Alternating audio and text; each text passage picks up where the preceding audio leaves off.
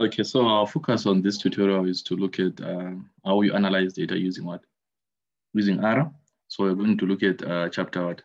Uh, it's tutorial number three, uh, question number two, where we had temperature and density being uh, our variables, where temperature was an independent variable and density being our dependent variable. So we want to come up with uh, the linear model or which are estimates or the coefficients of our data of our variables. Then we need to come up with uh, analysis of variance. We need the R square, etc. So now I've entered my data, which is uh, represented by line three, the one that I've highlighted. And make sure that you separate your numbers with a comma. And if you're writing a vector, you should use what, a C, right? And then that's temperature. And then uh, line number five, that's what, uh, density being given by what, by that. So density is equals to that expression. And then uh, that, that is our that is our data. And then we need the what the, the, the model. So the model that we're fitting is what is the linear regression model, which is the lm model. And uh, we need the dependent variable uh, vis-a-vis the, what, the independent variable. So this is a simple linear regression model. Remember, it has got only one uh, independent variable, which is what, which is temperature. So if I fit this model and run it, uh, and then now I want to see the output of the model. I can use either use model, right? And then uh, because the object name of this uh, command, it's the model or object name of the whatever is on the right hand side, it's model, all right? Then on the model, uh, we now can run it and see what comes out on the model. So you may realize from the model, we have got the coefficients, which is the intercept and the what? Uh, the coefficient of what? Of temperature, which is our slope all right? So based on uh, that, right, we can uh, write our, our model, right? But you can also get more information if you use what summary, uh, summary function. So you can say summary model one, right? And then you run it, you'd get more detailed information than just running model. So you see the difference of the, the, the difference of the two. Let's look at the console we have highlighted here. So the first uh, output uh, with using just model gives us this, and using summary model gives us all this information that we want, right? So now the information that are given here in the first, uh, it's on the residuals, right? The summaries uh, of the residuals of our, how they have computed the residuals for each point. Then we've got um, we've got uh, what are called uh, estimates, right? Which is our first column, right? We've got the standard error of the second column. We've got the T uh, value, which is the third column. You've got the P value. Then these are called significance codes, right? Uh, they relate to the P values. So if you can see, if there are three stars, it represent uh, that uh, that P value is statistically significant even at what at 0% of significance and uh, sorry, it uh, it is 0.01 level significance because this corresponds to that, this corresponds to that, this corresponds to that, this corresponds to that. Then if there are quotes, which means it's uh, probably it's not significant at all, right? Then we have got um, the multiple R square. That's the one that we have been dealing with. Is the what you call the coefficient of what of determination, right? You've got the adjusted R square. This one I'm going to, to discuss about it in the next chapter. We have got the F statistic, which is this, right? Uh, this one you've been conducting, you've been calculating it. I'm sure if you've performed a one analysis of variance, you realize uh, that's the F statistic for the one analysis of variance. And then this is the p-value that corresponds to what, the analysis of variance, which corresponds to this. So suppose you're using output results to test the significance of the regression line, uh, you are using the p-value, because if you are to use this F statistic, you would have to compute the critical values using what? the degrees of freedom one and what? And four. So for you to see probably the information about what? The ANOVA table that you do, you use ANOVA function, you say ANOVA bracket model, and then you run that, you see that you get a column of what uh, on the console. Let's check on the console uh, here. You also get uh, the degrees of freedom that is one and four. This uh, you realize that there is not there's no information about uh, the sum of squares of total. There's no the total part here on ARA, but you've got the degrees of freedom. You've got the sum of squares. You've got the mean square error. You've got the F. You've got the p value, right? So now what is important is for us to be able to write what the model and interpret what the results. So suppose uh, someone says, okay, let's write the model, right? Uh, the simple linear regression model, simple linear regression model. So you're going to say density. Density is equals to then you take the, uh, the, the, the, estimate of density. Okay, somebody may say, oh, say we don't understand what's, what's here. I think this is a scientific notation. We can always remove that by using a function. Every time when you use that function, we can always remove that by using uh, options. So if you use options, function options, uh, and then you write scipen, you see those uh, what to call scientific numbers are removed, and then you put triple nine, I'm sure. Let me see. Yes, it does run. So now we can run this and see what happens with the coefficients. I'm sure it will give us the uh, standard ordinary or standard numbers. I'm sure yeah, it has done it now. So you can see on the console, they are no longer scientific or which is called the standard form. I'm sure you did it at high school. So this is the coefficient, we copy it, right? And then you say density is equals to, and then we place, this is our intercept uh, plus, right? We need the, the slope. This is our slope. And then we write what? Uh, temperature.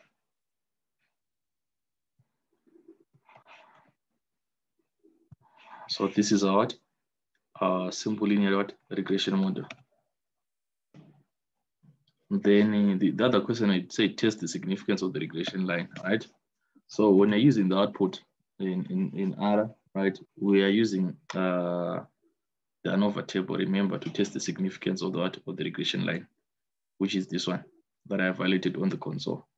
So if you want to test the significance of the regression line, you would, uh, you must know the hypothesis by head to say you're testing for the significance of the, of the slope. So the slope it's uh beta one. So our hypothesis will be uh h h1 uh, sorry h0 uh where beta one is equals to zero. We were saying a beta beta one is equals to zero. It's uh statistically insignificant. And then we write our alternate hypothesis, which is um h1. Uh, then beta one is not equal to what to zero. Then uh, what's our rejection criteria? We reject h naught if the p-value is less than 0.05. So our, our, our, um, our p-value, which is 0.01 in this case that we got. So testing for the significance, significance of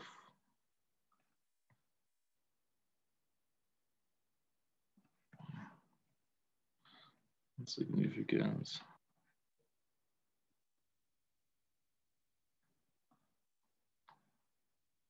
of the regression line, right? So what will be our conclusion? We will say since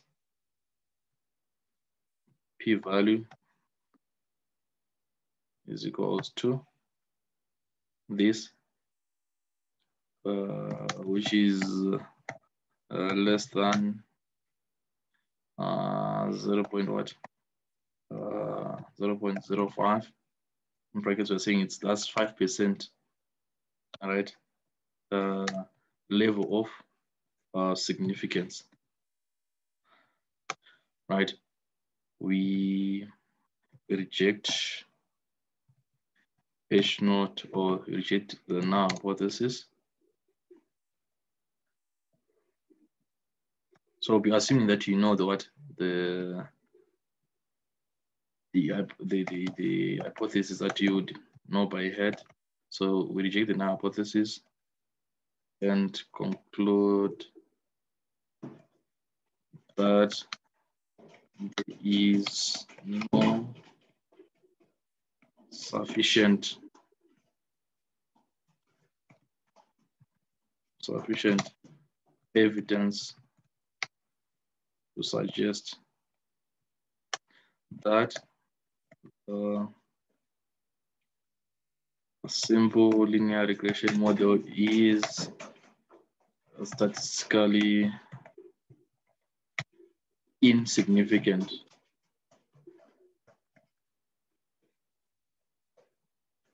That's how we conclude uh, based on the what? On the significance of the regression line from the from from the our outputs. All right. The next question talks about what? I calculate the 95% confidence interval of that. So on the confidence interval, we can we can use a confi. I'm sure there's a function called confi. If you're going to use confidence interval, because in this case, you are not given the confidence interval. Confidence interval, right? Let me try and see it's confi. All right, then model, then comma. Then if you are going to specify one, I'm sure it picks the confidence interval of the, of the slope. So yeah, if you say one, let me put a comment, one uh, represents what? Represents slope. And then if you want now to pick a, the, sorry, the one, the first one represents the intercept, which is the constant. Intercept slash constant. Then if you want to pick two, uh, it will represent what? The slope. So the first coefficient is of the intercept and the second is one so what? For the slope. So confi, uh, you put brackets model and point what? Two. Then that represents what? Uh, represents represents CI uh, confidence for You just saying. Hmm? Niko sawa na wewe. Can you mute your mic? I'm think I'm just saying. Mm. No, I, mean, I mean it. I mean it. Kantu anaweza kuondoka. Oh, I can. You guys, can you mute your mic? Zainona. Kuti boro joni zainona. Mpenda visi. Ayo, zozo zikakana kwanza na the So it represents the confidence interval for the slope. So if you run, you get the confidence interval for the what? For the slope. So you've got the confidence interval for what? For both the intercept or the constant and the slope. So you should be able to use these results to interpret the significance of the? Of the intercept or of the slope. I'm sure if you research on the notes, you'll see how we make conclusions based on what? On the confidence intervals. So research about how you can write the conclusion on the significance of the what? Of the intercept and of the what? Of the slope. So the other thing, uh, what's another question there? Ara, you can do as many things as you can. Uh, it doesn't limit you in any instance. Calculate the coefficient of determination. The co coefficient of determination, I'm sure we had it, but you can always retrieve it. Uh, this is the coefficient of determination, this one. And but if you want to retrieve it, I'm sure you can retrieve it. Let's try it. I'm sure I the coefficient, coefficient, or coefficient of determination. So it's a should be summary. And then you put what? Model. Then you should, you should put a dollar sign, I'm sure uh, r dot squared. Let me see this. Okay, I'm sure. Let me do this. Put a bracket here. And then I close here. Okay, let me find the proper function for us to get what the confidence interval, what called the the coefficient of determination in R.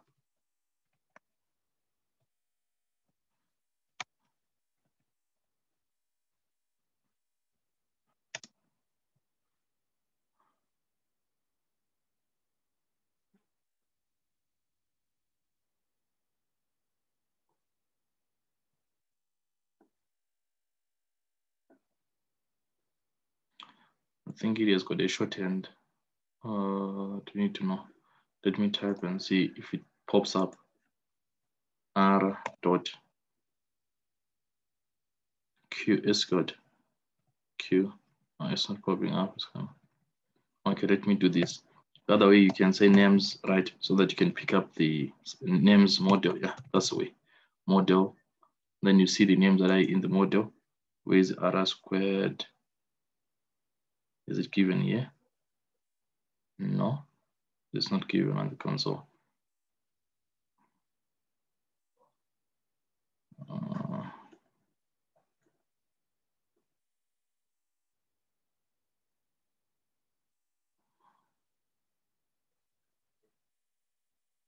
it's somewhere what?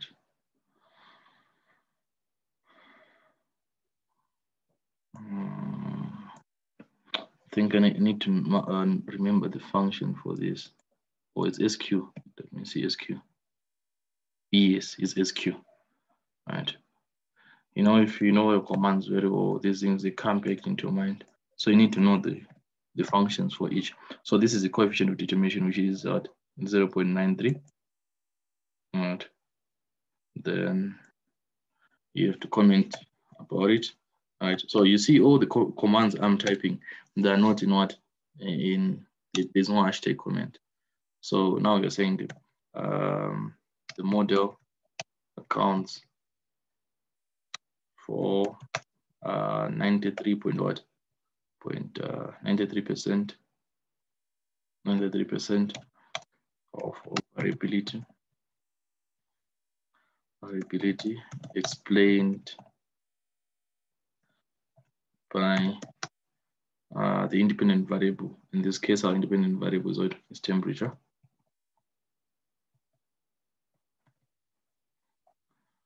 Full stop. All right. So suppose you want to estimate uh, what you call this. Uh, you want to estimate the other last question. Uh, ARA does it. In SPSS, we didn't do that.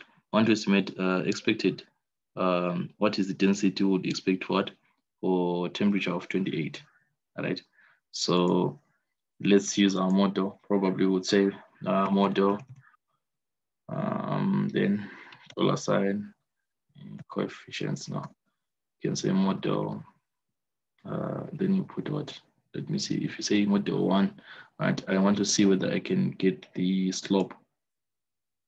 Okay, it gives me the, let me do see, summary. You can retrieve this information from uh, from the what you have, the summary function. I'm sure let's let's run the summary so that you can understand how I retrieve that summary model. Um, you see that um, this is on what it's on the first columns, uh, first row, right? So suppose I want to retrieve only the what the the intercept. I would say summary, then it's model, right? I'm showing the square brackets. I have to say first row, uh, first column. So we would have to get 1.00 if we use that. Okay, it says the dimension. So let's let me do this. Let me put the brackets. If you put the brackets, uh, say somewhere what model. Or let me put one and see what happens. It gives me that. So, okay, probably I was supposed to put a dollar sign here. And then put a, a dollar sign is for retrieving. All right. There's something wrong. Where is it coming from?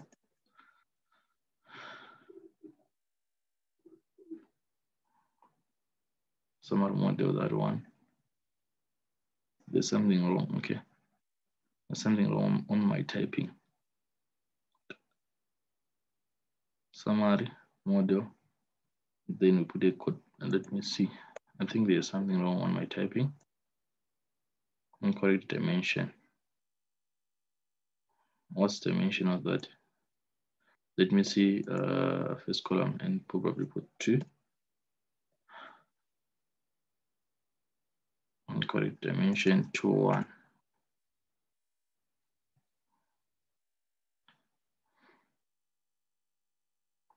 Mm, there's an error throughout.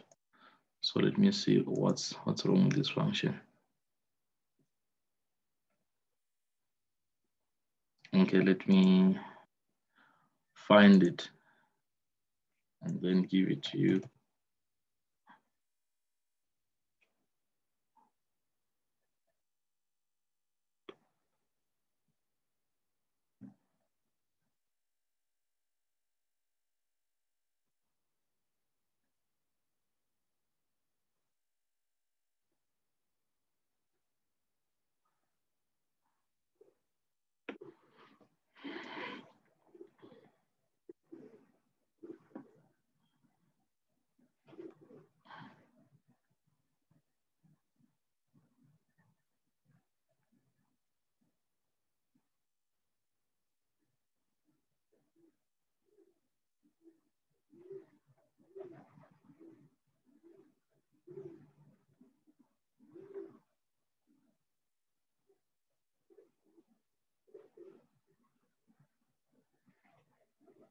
Okay, uh, I think I've got it.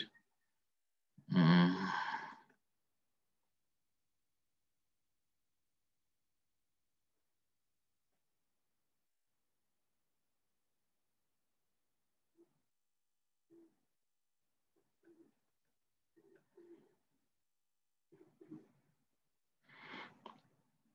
Okay, I think let's use the other function. Let's use coefficient. I'm sure that one is, is always also works. So you can say coefficient, right? Then model. Uh, then you select the coefficient that you want. Suppose you want the first coefficient, which is what? Which is the slope. So you would probably say what? And square bracket is what? One. You get this. So if you use the, the model, so this is our model you see this this this intercept is this one, right? Then you can always write the equation uh, to make it work. So it's coefficient now. Uh, then you put model. Then you want to pick what? I want to pick uh, the coefficient number two, which is the slope. So then you multiply it by what? By put a star. Then you multiply it by what? By 28. So that you get what? Your density when temperature is close what?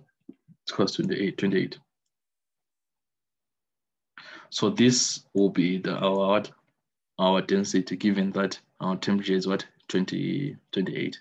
So this is how you compute it. So density when temperature is 28. So for you to learn these things, you need to play around with this and then you get the concept about it. So let's let's hear the questions. Um, I'm sure you're going. Yeah, we've got uh, six minutes for the questions. If we don't finish those questions, we'll attend the questions after after the 40 minutes has been exhausted, exhausted. So may I have the questions, guys? If you've got a question, you can type, you can uh, unmute your mic and ask the question.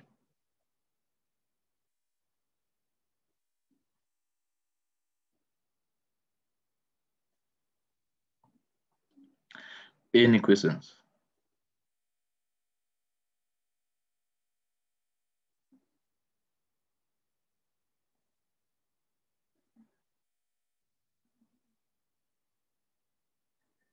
Guys, it's your opportunity to ask questions.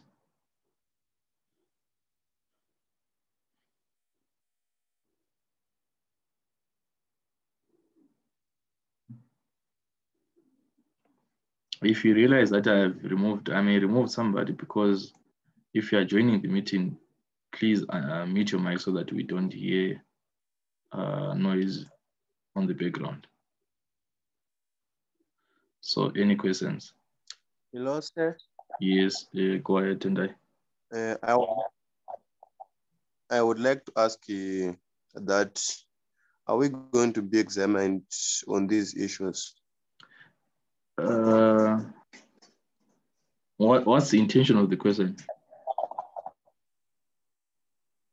I just want to know. Yeah, are you afraid of failing or you're afraid of knowing? It's like uh, I'm not even understanding what is going on. Murujita says That's why I said, maybe is it your first time attending this uh, Zoom tutorial for ARA, right? yes, it's my first time, sir. Yeah. So what you need to do, you need to look for the video for the first lecture that we did uh, using ARA, and then probably you'll learn some of the things. And what I did is I said SPSS is comparator, right? So how we are going to examine you, we are going to examine you based on SPSS outputs. So from three to from two to three, I had a lecture on uh, SPSS, right? And Mhm. um, I, I there's somebody who asked that question, and then I said I'll examine based on the outputs, right, of SPSS. For example, let me give you an output that is so simple here, right, which is in uh in ARA, right? In ARA, I'm just giving it just for helping students, right? So that you know Mhm. are the softwares that are in demand right now in, in industry. So you'll be expected to know. So this is the introduction of it. I'm trying to empower you guys uh, to know some of the softwares. So Mhm. you look at this table, uh, which one? Let me use the ANOVA table. But these things you have been, you have been if you have been, if you have been doing these things uh, practical, right? You realize these things you have been doing them. For example, I may remove the F value, this one, which is 53.311, and then I say complete the table. You should be knowing how you calculate your, your F uh, when I give it, when you're doing your ANOVA table.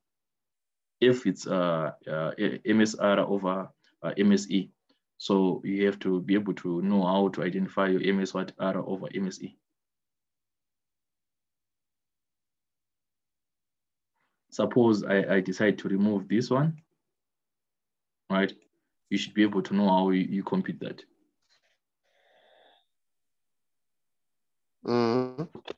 Mm, If you know your formulas, you would understand it.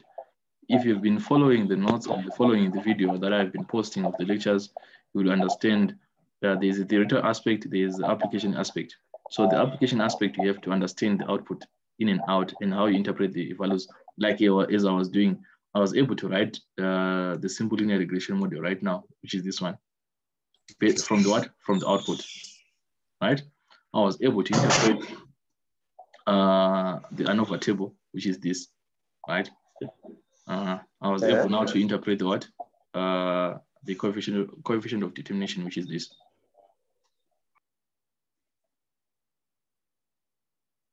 And somebody says, uh, can you repeat on the confidence interval? Right, it's uh, Bethwell. So Bethwell, if, okay, before, I answered. Yes, yes, you correctly answered. Right.